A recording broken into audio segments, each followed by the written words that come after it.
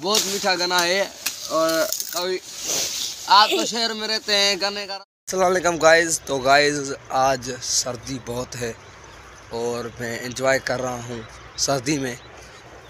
आप देख सकते हैं कि कितनी ठंड है, कोहर है। और उसके अलावा चारों तरफ़ जो है गाँव में ये कोहर, धूप, कुछ भी नज़र नहीं आ रहा। और उसके अलावा जो है मैं शुगर केन खाने निकला हूँ। इतनी ठंड में और जो है मैं अभी रास्ते में हूँ, जा रहा हूँ। और लोग भी जो है अपना काम कर रहे हैं शुगर केन काट रहे हैं और ठंड भी बहुत है। और ये आप लोग देख सकते हैं, ये जो वीट है हमारे गाँव में। वो अभी उसकी मौसम है, ये अभी लोगों ने जो है लगाई है।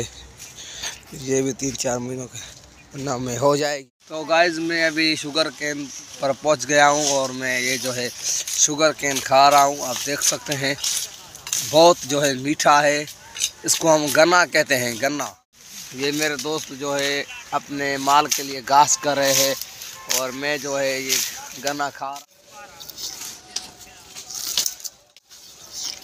बहुत मीठा गन्ना है और कभी आप तो शहर में रहते हैं, गन्ने का रस पीते होंगे, वो तो पारू था होगा। ये ताज़ा है, ताज़ा।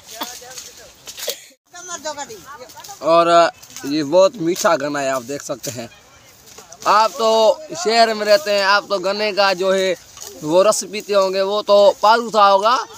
ये गाँव का गन्ना है, बहुत मीठा गन्ना है। कभी आप भी गाँव में आए खा कर देखें, देख सकते हैं। વાહ કે કમર મો કમર મો રાખે તો રાખે